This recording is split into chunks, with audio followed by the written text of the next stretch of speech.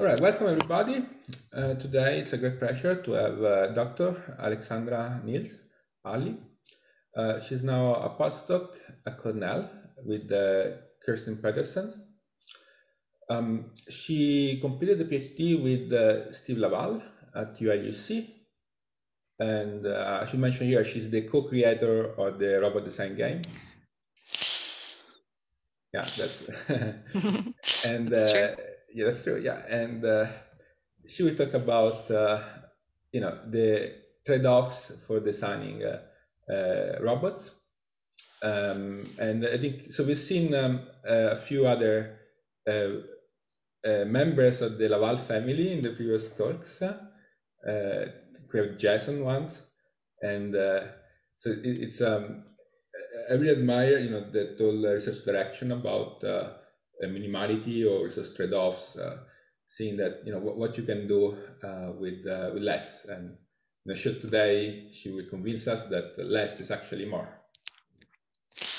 Yes, thank you, Andrea, and thank you uh, everybody for inviting me. And um, I'm very excited to get started. So let's jump into it. So um, yeah, since I'm not there in person, I'll give you a few different pictures so you can estimate uh, what I look like. Uh, I just finished my PhD. It feels like I just finished uh, last fall with Steve. So I was his last American student, and now he's happily uh, doing stuff in Finland, closer to you all. Um, so I grew up in Colorado, went to undergraduate uh, education there. So we have some pretty okay mountains there, I think. Uh, I've never been to Switzerland, so I won't compare the Alps to the Rockies uh, until I get a chance to visit.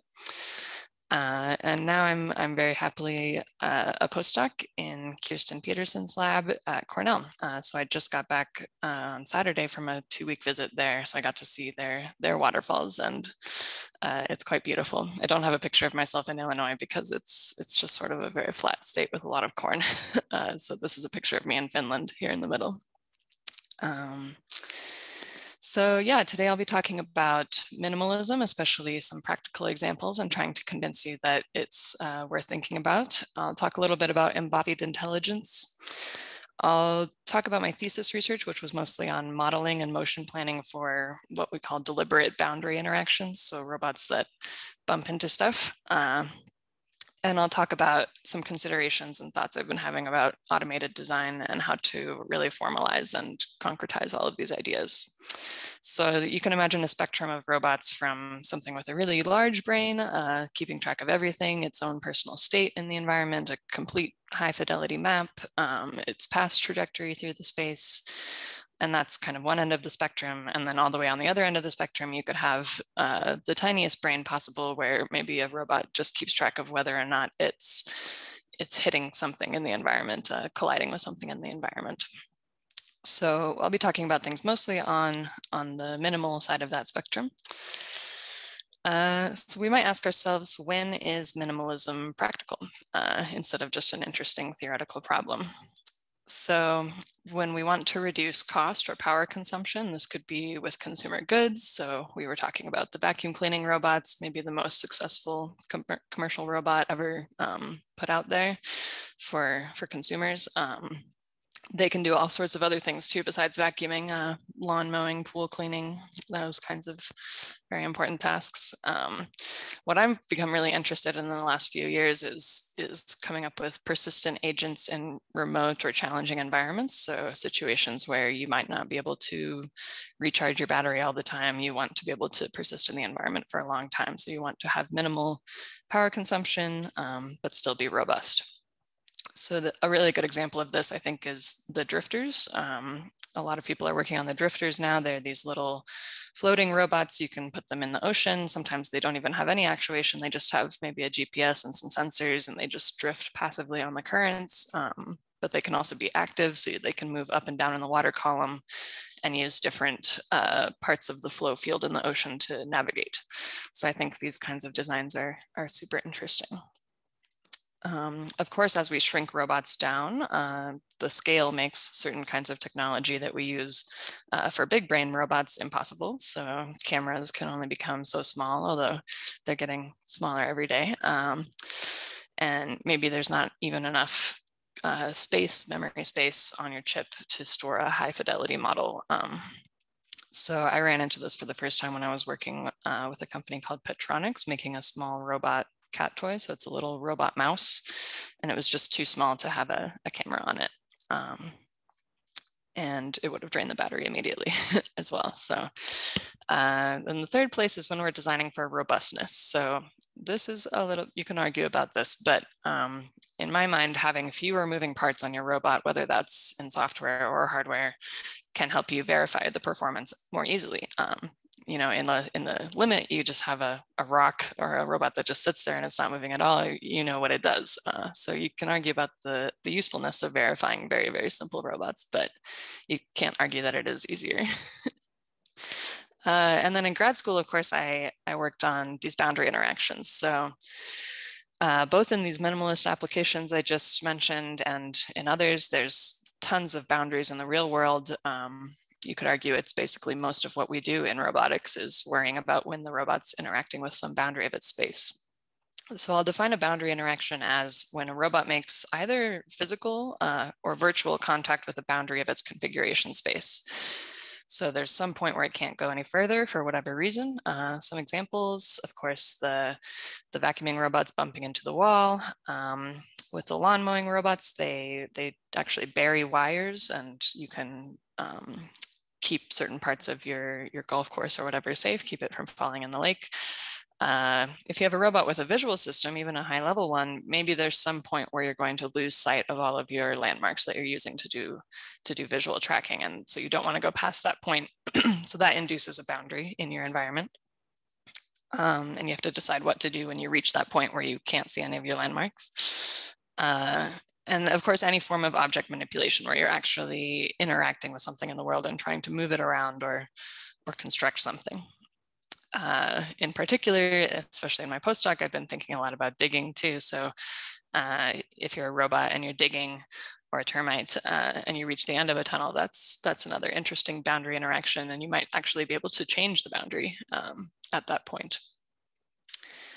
So um, Yes, uh, we're, we're roboticists, we're scared of collisions, uh, especially if you're working on self-driving cars or something like that, we, we don't want a collision. Um, but of course, there are some types of robots that um, can handle it and it can actually become much more efficient. So uh, Steve and um, Lawrence published this in 2013 before I started grad school, um, but this, this short little paper kind of got me started on my PhD track. Um, and they started uh, and analyzing these kinds of boundary interactions on a very abstract level. Um, on a more practical level, you can do interesting things like localization or task assignment just through inter-robot collisions. So robot to robot collisions are also very interesting and I think also a form of boundary interaction if the robots can't move through each other or climb on top of each other.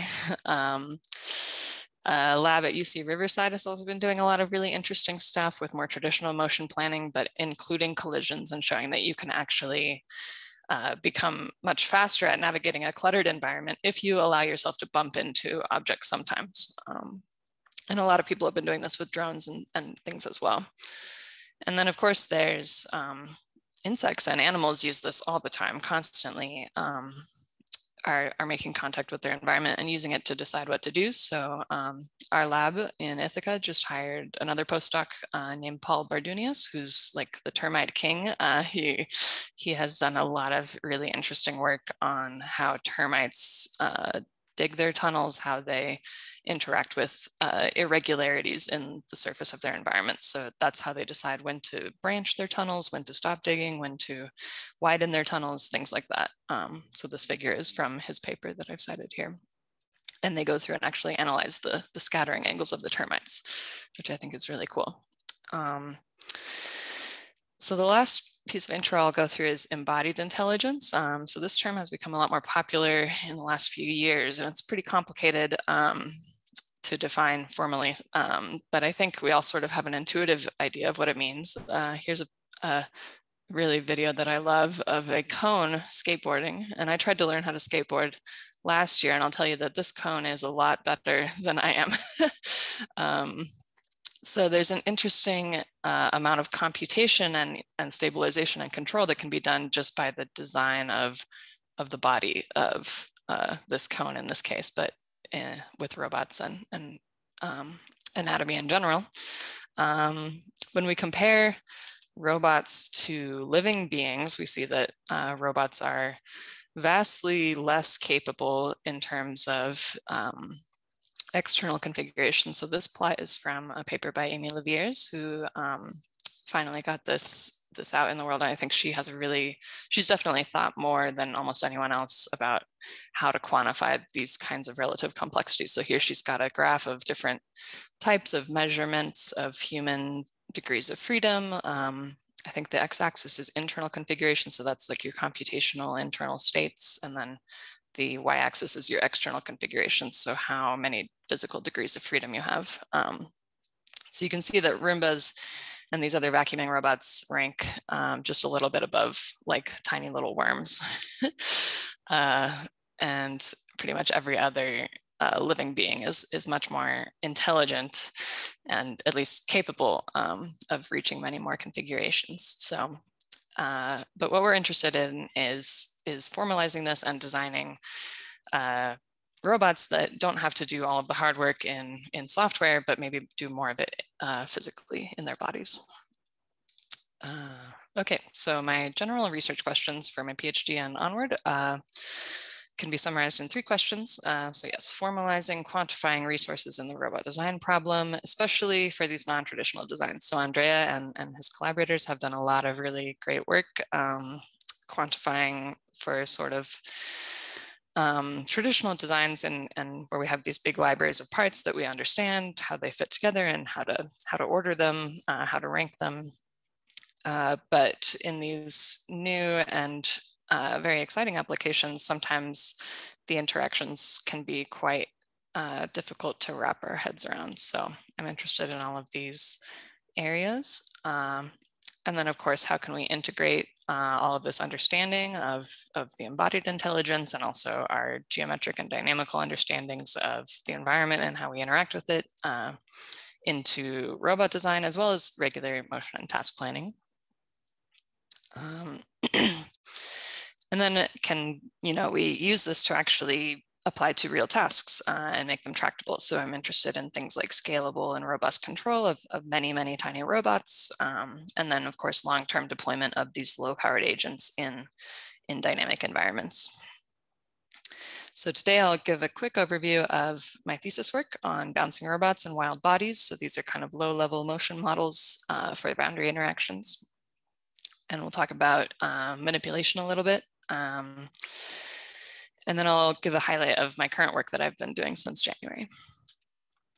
So bouncing robots, uh, inspired of course by, by our favorite vacuuming robots. Uh, but it ends up that actually microorganisms do this as well. So here's a really nice figure from this paper. Um, ciliary contact interactions dominate surface scattering of swimming eukaryotes. So as these little cells, single-celled organisms swim around, um, their, their body morphology and their dynamics of their, of their cilia, their little swimmers, uh, interact with boundaries of the environment and cause them to scatter at particular angles that are not necessarily, they could be zero. Um, so they would do some wall following or they might peak at a slightly um, a different angle.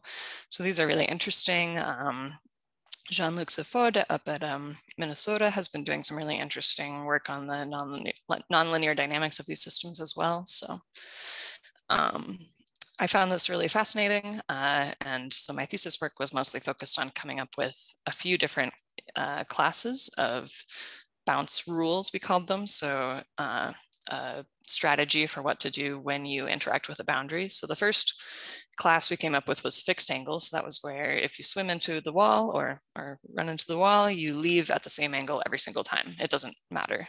Um, what your prior state was. You have some way of aligning yourself to the wall and leaving at the same angle every single time. And that, that has a lot of interesting um, uh, resulting dynamics, which I'll show in a moment. But Uh, there's a few other interesting classes as well. So there's monotonic uh, bounce rules where you keep a little bit of your state from before. So you keep which direction you were headed in relative to, to the wall. Um, but you still have this, this kind of fixed uh, relative angle to the wall. And then the final class is relative rotation. So that's where you don't know any data about the wall except for that you've hit it and then you rotate in your own internal reference frame. Um, and that one can obviously be achieved by a lot of different types of platforms. So in my thesis, I went through and looked at these different classes, looked at the resulting dynamics, especially if we iterate the same boundary rule many times. So I'm interested in this because it's a step toward kind of global or um, constant control. So we, if we can get into a certain mode by just iterating the same rule, that requires a lot less state tracking than uh, trying to change your rule every single time you collide because there's a lot going on in these complicated, uh, crowded environments. So it ends up that when you iterate the same boundary interaction many times, uh, you do get into, into very predictable patterns. Um, there's some pretty clear trapping regions, limit cycles. Um, so a lot of my thesis work was characterizing this in terms of the environment geometry.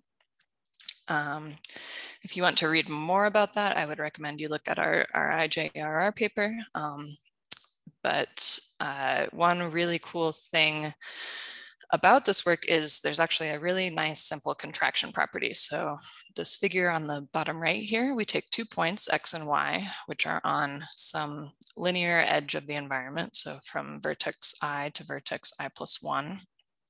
Uh, and then we leave at some angle theta, so that's determined by our bounce rule. Uh, but if we leave from two points with the same rule, and then we look at uh, the distance between those two points when they're mapped onto the next edge of the environment, uh, if the distance between them decreases over that transition, then we call that a contraction, uh, a contracting transition. So we have a, a contraction rule, and then if you iterate uh, a dynamical system that has an overall contracting property, you'll end up in a limit cycle. Um, so there's some very uh, fundamental theorems that that show that, um, and you can characterize. Um, so then, just given a sequence of bounce rules uh, and an environment uh, and a starting point, you can predict the existence, location, and stability of limit cycles uh, for really any series of bounce rules. Any, your environment doesn't even have to be polygonal. It could just, it just needs to be piecewise linear. Um, so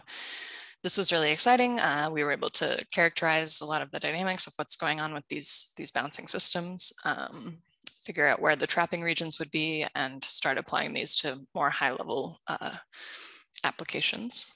So I started thinking about motion planning. Um, I became really interested in non-deterministic motion planning because of course, the first question people ask is, you can't always get the robot to bounce at exactly the right angle. You know, if you have to always bounce at 32.37 degrees, uh, you're going to have a bad time. So I became interested in the non-deterministic motion planning problem where uh, we want to come up with a range of angles that if the robot bounces between anywhere in that range, it will, it will succeed in its task. Um, of course, you could apply um, also regular motion planning uh, problems to this, maybe not as easily to the non-deterministic version, but um, definitely to the deterministic version, you start asking like, okay, why don't you just use RRT? Why are you coming up with all these novel exact geometric motion planners? Um, and one big reason is that if you just apply a generic technique, um, you lose a lot of the, the geometric understanding of your environment. So in this figure, you can see if the robot was going to start out on this bottom edge, uh, its, its initial state is this gray region um, projected onto the edge, I guess. Uh, so it's, it's uh, you know, the robot is taking up maybe 80% of this edge, and then through a sequence of bounces, it actually decreases the set of possible states that it could be in into a much smaller set. And then from there, it's able to bounce through a narrow gap in the environment, uh, even under non-determinism. So being able to really understand, you know, where are the transitions in your environment? Where are the, the narrow gaps? Um, and how can you actively decrease uncertainty in your state through the motion process is, is really important. And it's something that you lose by just applying a, a point-to-point -point planner. So I'll give you a, a highlight of the technique. Um, basically what we did is we further discretized an environment. So given a polygon or some other environment, you can find points in the environment where what we call visibility events happen, where something that you couldn't see before becomes visible or something that you could see before disappears. Um, so imagine sliding along the, oops, sliding along the um, edge of this polygon. When you pass these purple points, uh, suddenly edges that you couldn't see before will become visible or invisible. Um, so that lets us augment uh, the environment and create a discrete transition graph where each of the nodes is one of these segments where there's sort of an equivalence class of what, what edges of the original polygon are visible. So that's pretty useful. And we can also annotate this graph with other um, information about you know, the range of angles that allow that transition, which ones are stabilizing, which ones are contracting. Um, so I played around a lot with different uh, ways to search through this graph. Um, there's just an example here of kind of what that looks like, um, where like node zero in the graph is uh, the segment from zero to one uh, on the polygon. So the nice thing is when you do this graph search, it outputs not only your plan, your path um, through the space, but also a characterization of how much uncertainty is, is allowed uh, in order to execute that plan. So it almost becomes a design constraint. If you want to execute a certain uh, plan in your environment, you need a robot that can be uh, so, so precise and your, your planner will tell you that. So um, oops, I did not add the cite. Sorry about that. Uh, I did a really cool collaboration with um, Anna Pervan and Tommy Berrueta, who are PhD students of Todd Murphey at Northwestern University. Um, we uh, were really interested in manipulating objects with bouncing robots. So we came up essentially with this motion primitive where the robot bounces in a triangle uh, in an infinitely long hallway with an object. Uh, and if it's able to execute this, this motion primitive you see here on the right, it will eventually push the object into the goal region. So it's a pretty, pretty simple cartoon um, of what's going on, but we see this as kind of a building block toward, toward more complex emergent manipulation. Um, so we defined all of these uh, motion primitives. I won't go into what all these are, but we basically had a set of six different actions and sensing uh, modalities that we could execute. So that's like rotating in place, moving forward, a set amount, um, detecting different chemicals. So, so, this last row is we had just chemical blue and chemical yellow, uh, as long as you're able to distinguish uh, if one or the other or both of those is present, then uh, your robot will be able to execute our, our setup here. So we tried to make these motion primitives pretty generic and pretty inspired by micro robots, um, like what's actually possible at the small scale. Uh, and then we came up with these high level um, states that the robot could be in. So, you know, if you're pushing a box in an infinitely long hallway, you can be to the right of it, you could be to the left of it, you could be somewhere in the middle, this red area, um, or you could be actually uh, correctly executing your limit cycle that's pushing the box, uh, or you could be lost. So we basically here on the left, you have robot one with all of the sensors and actuators, but then as you take away sensors and actuators, we're able to actually formally characterize the uh, capabilities of that robot and also tell when and how it will get lost. So if you're a very tiny robot, uh, it's very important. It's very likely that you're going to get lost or stuck at some point. So this is, I became really interested in this problem, um, actually with the, the mouse robot, the cat toy robot, um, figuring out, you know, when will it get stuck in the couch? How do you distinguish uh, being stuck on, on some cables versus uh, the cat actually pinning you down with very limited sensing? Um, so I think this problem of, of at least being able to identify when you're lost or how often you'll get lost uh, is really important for these kinds of systems that I'm talking about. And we simulated these, unfortunately have not found somebody to actually implement it at the micro scale. Uh, but we simulated this with some noise and some, some random initial conditions and just showed that um, just by kind of plopping all these robots down into the environment, you're able to push the box uh, pretty robustly. So you can check out our WAFR paper for more on that. Uh, and that's the end of bouncing robots. So if there's any questions on that, I'm happy to take them. Otherwise, I'll start talking about uh, another motion model. So if you have questions, just feel free to unmute. I'm talking to the audience. Okay.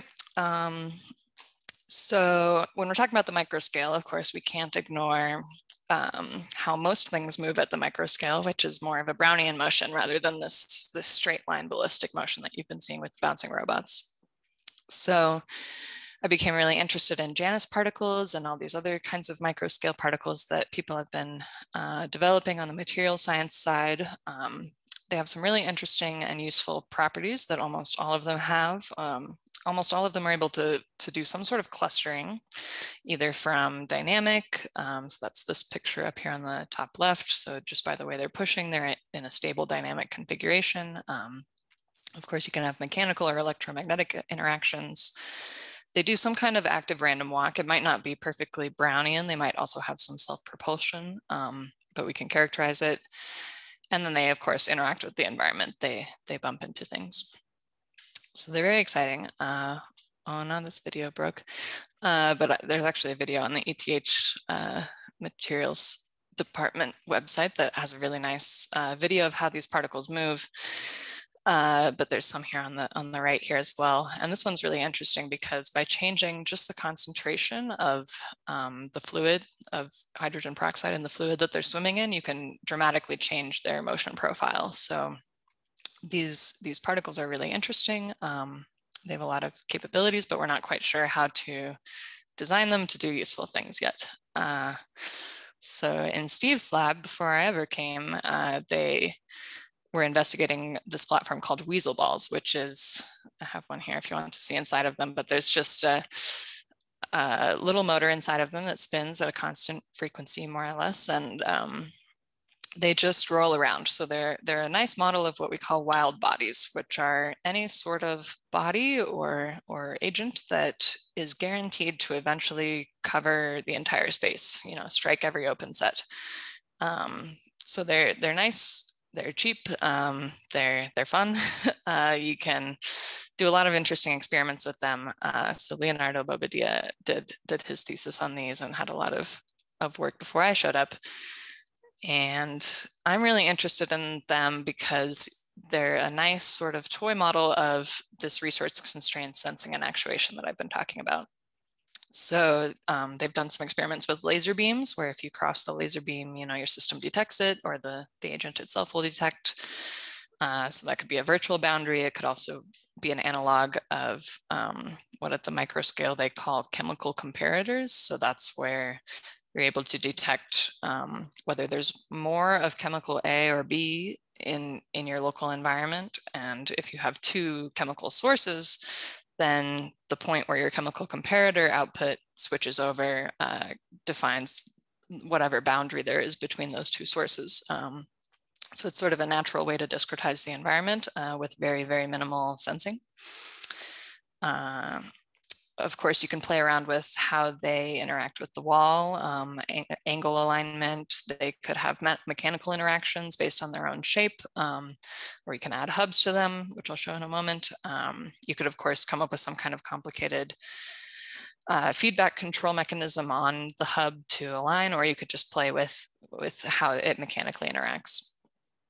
Uh, you can put clocks and all sorts of different sensors on them.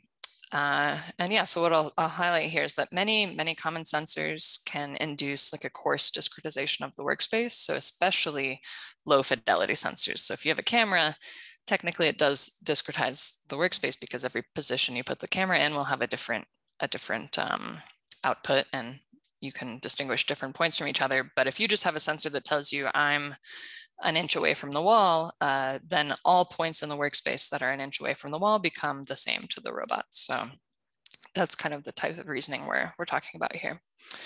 And there's some citations for these. Um, they've done a lot of different things with control, controlling the distribution of these agents through the environment, counting them, tracking them. Um, really, really interesting stuff. So I worked on a project with some undergraduates at UIUC where we were looking at self-assembly um, with these hubs. We were putting different uh, arrangements of magnets and Velcro on them to see if we could um, guarantee the emergent shape, things like that. Um, so you can, what we've done is we've 3D printed these hubs that go around the weasel ball and then it just pushes that hub around and then we can add whatever instrumentation or um,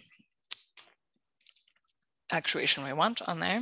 Uh, we investigated boxes, pushing boxes around. Uh, this is just an emergent property that's pretty well known. Um, Dylan Shell and, and collaborators had a really nice paper talking about actually boundary interactions um, and the clustering problem, which was very inspirational to me. Um, so we became very interested and we published, if you want um, to play around with these weasel ball hubs, we have like all of the, the models and the files um, up online. And we've also got some nice gazebo simulations. Um, so uh, moving a little bit into future work a little early, uh, what I'm really interested in is coming up with a hub that can actually shapeshift. And I've got uh, some, some collaborators at Cornell who are also interested in this. So keep your eyes peeled for that. Uh, there's some really interesting theoretical questions like how many discrete shapes uh, of the hub are required to enable just a steady state patrolling. Um, you know, you just drop them in and let them go. And, and can you guarantee that given a certain sensor model, you'll cover the entire environment and, and see everything. Uh, and depending on the environment geometry, how, how many different hub shapes do you need? Um, and then we also talk about sensing modalities, um, filtering, and of course, avoiding getting stuck. So uh, if you have a, a, hub shape that's exactly the same geometry as maybe a corner in your space, you might get stuck. Um, can you guarantee that that will never happen? Uh, so there's a lot of interesting things here. And of course, the microscale robots um, can also do some of the shape shifting in some of the new, the new publications that have come out. So I'm very excited about eventually closing this loop and uh, applying some of this at the microscale as well. But focusing on, you know, not having individual control or sensing or state tracking of each individual agent, but coming up with strategies that are scalable and robust. So um, yeah, I'll talk about uh, what I'm working on now, which is uh, a little bit, uh, I'll give you some background on the collective embodied intelligence lab. Um, so they are a collection of, of hardware and software geniuses. Um, I software in terms of soft robots.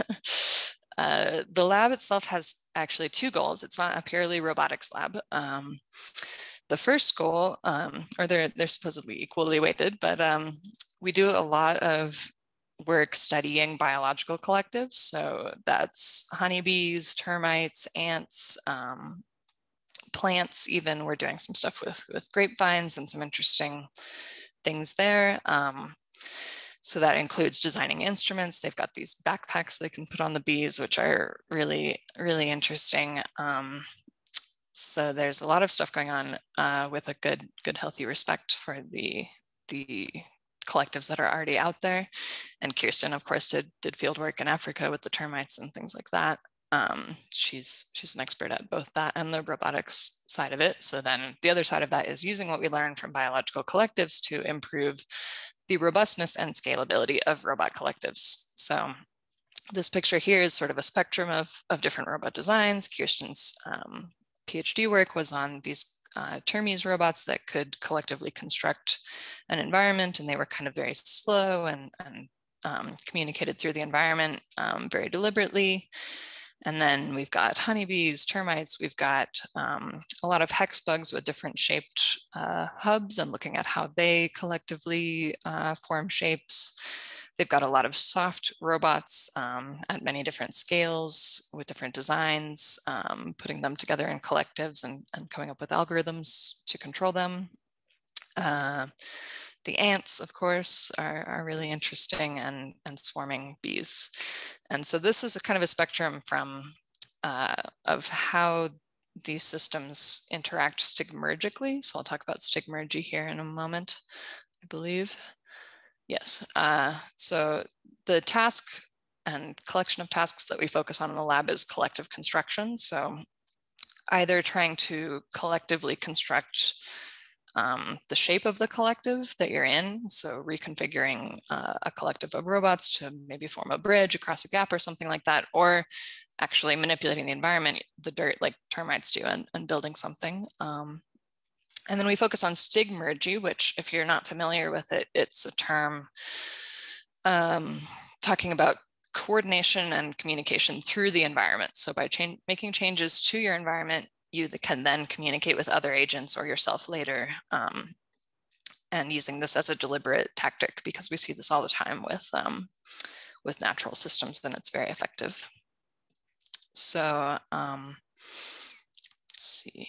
Yes, Kirstin came up with these figures. Uh, I think this picture on the right, it's a little hard to see, but it's really a project in the lab that I'm really excited about where we're studying how uh, bees swarm. So when, when they have to move locations, the queen goes somewhere and then all of the honeybees are able to follow her even in you know wind and, and over long distances and things and it ends up that they actually align themselves with the wind and create their own uh, dynamical patterns in the in the air in order to spread their pheromones uh, very efficiently and communicate over long distances. So I think that's just fascinating. So we're looking at everything from you know very slow, very intentional um, designed robots to these very fast and turbulent systems. Uh, so uh, when I started in January, I kind of I, I'm the theorist in the lab, so I'm not I'm not a hardware person, uh, but I wanted to jump in on a few hardware projects just to start getting a sense of, of how these systems actually work. So one that I jumped on was with a PhD student named Steven Ceron. Um, so he developed this um, soft oscillating platform that I just got back from playing with for two weeks. Um, so here's an example of them uh, maneuvering in a confined environment. So nothing, this is just sort of a, a pilot video that I took. Um, you'll have to wait to see some of the other experiments, but this is just a, a, traveling wave of activation through the collective. And you can see that um, they're doing this, what they call peristaltic motion, um, where these interactions with the environment are actually are latching them in such a way that they're able to robustly move across uh, even though the actual connections between the robots are not that robust. So they tend to detach from each other and then reattach, uh, but they're still able to perform this, this collective motion because of their interactions with the environment. So I think these are really interesting and I've been doing some, some algorithmic work on them, uh, looking at different uh, ways of of coordinating. Um, in the long term, I think these, these kinds of soft robot collectives are really interesting uh, toward an understanding of epithelial mechanisms. So that's uh, your skin or other biological boundaries uh, in, in the body, uh, like how they form, how they're able to react to disturbances, heal, um, reconfigure. So um, I think they're super interesting. Uh, and we want to be able to eventually engineer materials that have these kinds of nice properties. Um, the, the soft collectives especially are, are really interesting in constrained environments. So that demo I had just shown you wouldn't be possible if those were hard robots because they're expanding uh, to more than the size of the hallway that they're in, but they're able to, to compliantly react to that and still succeed. Um, so on the algorithmic side, I'm interested in coming up with, with distributed algorithms that are efficient and, and minimal sensing and all that, um, and then coarsely characterizing the collective dynamics and using those in higher level um, task planners. Uh, I'm especially interested in seeing if we can get the collective to actively reconfigure itself so that when the whole collective bumps into a, a, a boundary of its environment, it's able to actually reorient in a, in a predict, predictable way. um, and then we just got this uh, paper on the hardware side published in IROS, so keep an eye out for that. Uh,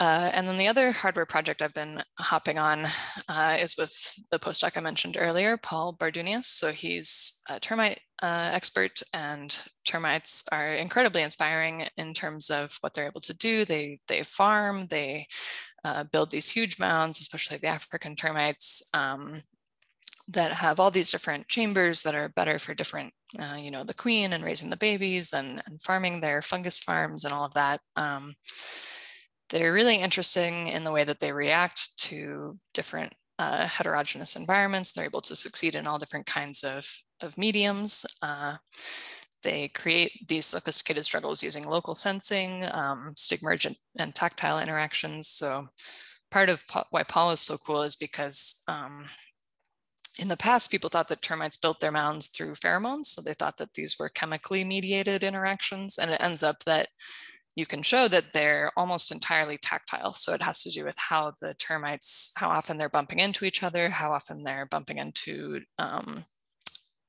little little deformations in the walls. Um, so they can do almost all of this without any kind of magical, um, complicated pheromone rule set. Um, so he's got a bunch of papers on that if you're interested. Um, what I'm interested in with, with digging robots and, and dirt and soil is the fact that if you have a bunch of lightweight agents moving on the surface of, of dirt or soil, um, and you look at how they move over time, so those, those traces that they put in over time, um, they're going to have different signatures. So like that figure we saw of the micro um, swimmers in different concentrations of, of hydrogen peroxide, they clearly looked different. And you could say, oh, okay, this one that's going really far is clearly in a high concentration area.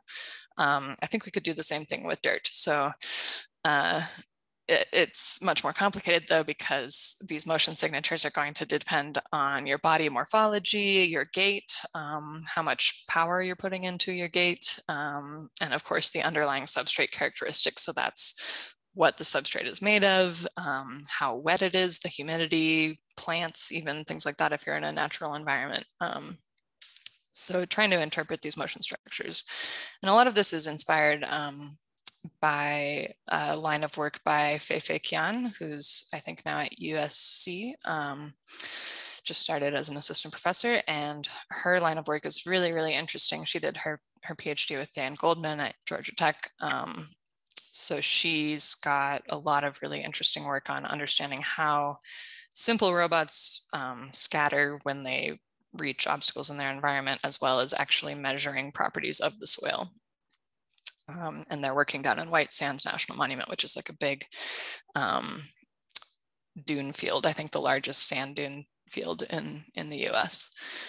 So um, yeah, I'm hoping to, to contribute something to this line of work, um, probably more along the lines of, of very simple robots. Um, and then on the theoretical side, all of this is going to tie together um, into work that I'm, I'm doing on just characterizing the design space of stigmergic coordination in dynamic environments. So uh, I think if you're not familiar with information spaces and all of that stuff from Steve, I didn't have time to, to give a little tutorial here, but um, information spaces are basically, instead of having your regular configuration space, you um, come up with a space where uh, different states contain the same amounts of information. So different sensor and actuator histories will put you in a certain information state that might be, you know, oh, I'm two feet away from the wall, or it might be, oh, you know, I need to go and give give this piece of dirt to my friend or something. Um, and it, it's it's coming out of game theory, so reasoning about how much information is available to you, what you know, what you don't know. Um,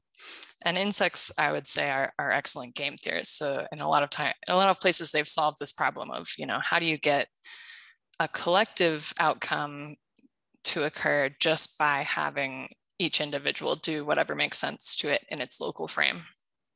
Um, so some interesting design features of this problem. Uh, we want to come up with, with simple rules that we can iterate. So um, instead of having each agent keep track of a lot of a global state of the environment, you just want to have simple rules, maybe even just reactive rules that it applies when it makes sense, uh, and then see how the iteration of that affects the global state.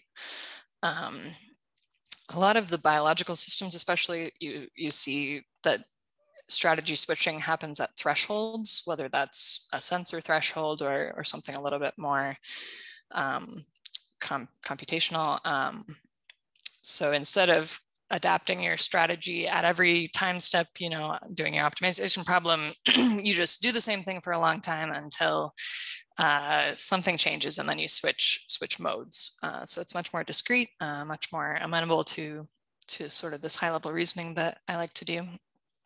Um, and another really interesting design feature is you have to work with the under environment's underlying properties. So I talked about the bee swarms, they, they align themselves with the prevailing winds uh, in a way so they're not trying to fight fight what's going on in the in the in the world around them. Um, so that requires some understanding of the environment. Uh, and so, yeah, um, I didn't want to put in a bunch of math here at the end, but I'm working on um, some interesting stuff on quantifying how these changes in the environment um, over time and changes in the environment's dynamics, so the, the dynamics of the dynamics, um, it's a function of, of course, your baseline environment dynamics, so your currents or your flow fields or anything like that, um, plus whatever agent modifications are happening. So the bees flapping their wings, um, the termites moving dirt, um, the robots creating a little local electromagnetic field or anything like that. Um, and those agent modifications are dependent on their own internal state and what we call their local view. So they have some local view, some sensors um, that tell them what's going on in their own little local environment. So we're able to actually put all of this into, into the information space framework. Um, and that's what I'm, I'm most excited about right now, um, because then we can quantify how um, design changes to these agents um, affect the overall dynamics of the environment. So if their local view gets a little bit smaller, a little bit bigger, or if a little bit noisier, um, if the if the magnitude of their modification changes, so they, you know, the termite's able to dig twice as much dirt, how does that change um, the the rate of completion of the mound, things like that. Um, I think we're able to actually uh, start getting a theoretical understanding of all of this. Um, because a lot of people that have been working with stigmergic systems in robotics, I think it's proven to be a pretty effective tool, but we don't have a good understanding of, of the design space. We just kind of have some intuition. So I'm very excited about um, integrating this with all of the, the good work that's going on with automated design and um, verification, automatic verification, things like that. Um, so I'll conclude by saying um, Rodney Brooks um, is, you know, a personal hero of mine, but uh, he was in a documentary where he described uh, robotic systems as fast, cheap, and out of control. So this is kind of a novel paradigm at the time where he was saying, okay, we'll take a bunch of robots and, and throw them into space and collect a bunch of data. And it was sort of a, a shift in, in how people thought about robotics toward what I'm talking about now. But I, I don't actually like this characterization of like fast, cheap, and out of control because, uh, well, it reminds me of like move fast and break things. um, but I, I, I like thinking about design in this kind of in these settings uh, as you want robots that uh, have strategies that are good enough for now and safe enough to try. So um, they're able to, you know, detect something about their local environment, make some judgment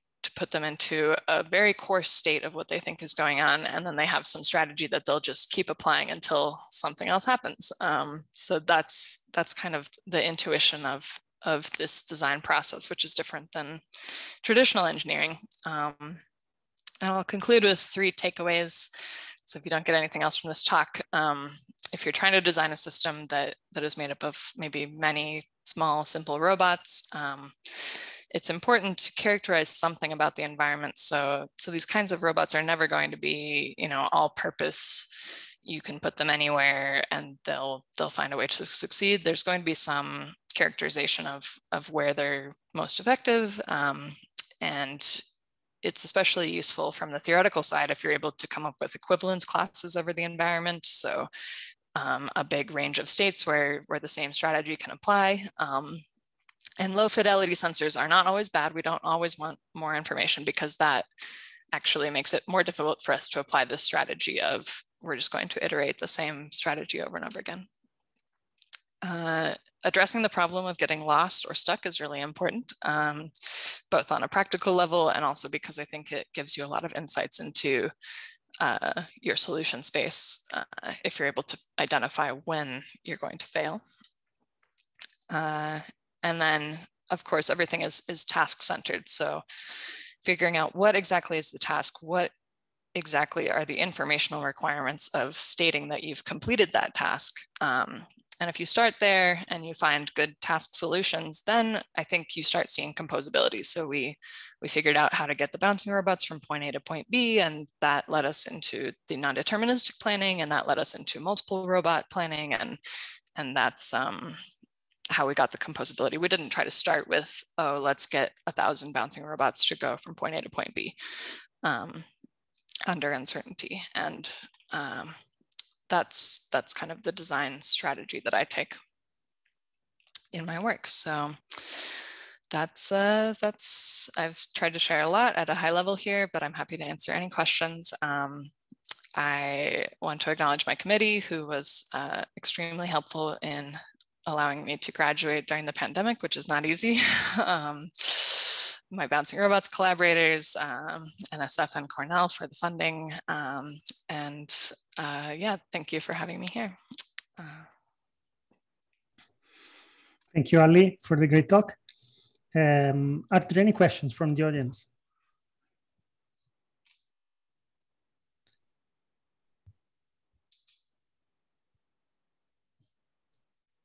No question? Maybe in the chat, let me see.